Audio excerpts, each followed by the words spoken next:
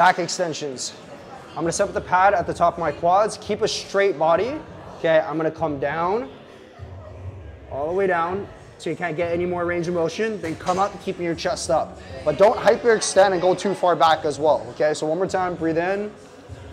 I'm gonna come up so that I'm nice and tall, just like this, okay?